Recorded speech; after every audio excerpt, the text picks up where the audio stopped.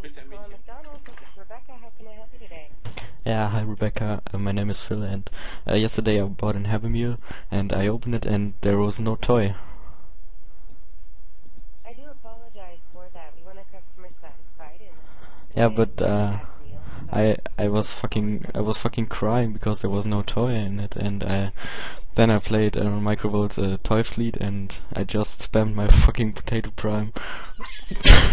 Uh, This isn't a legitimate call, so I'll be disconnected. Yeah, this is a uh, business code.